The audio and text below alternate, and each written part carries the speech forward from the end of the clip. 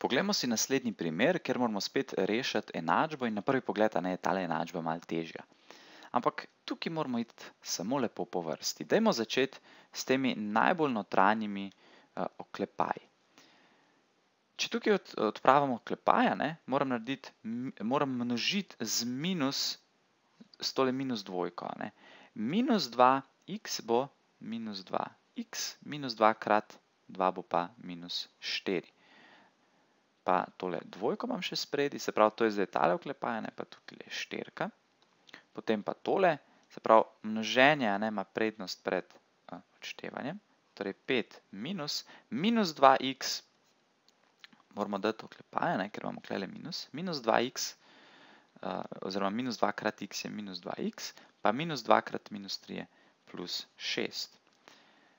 4 krat 2 je 8, pa 4 krat minus 2x je minus 8x, 4 krat minus 4 je minus 16, 5 minus pa minus da plusa, 2x pa minus spremenimo. Se pravi, to so čist tiste osnovne računske stvari. Zdaj pa korak, kjer moramo izpostaviti člene z x-om, se pravi tam, kjer nastopa x na eni strani. Minus 8x je že na tele strani, dajmo še tole na drugo stran, da spremenimo predznak, minus 2x. Vse ostalo, 8 pa minus 16 gresta pa na drugo stran in sicer tako, da spet zamenjamo predznak. 5 pa minus 6 imamo že odprej, pridruži se zdaj 8 in sicer minus 8, ker tukaj je plus, pa minus 16 se spremeni v plus 16. Tole skupaj zdaj je minus 10x, na tele strani imamo pa,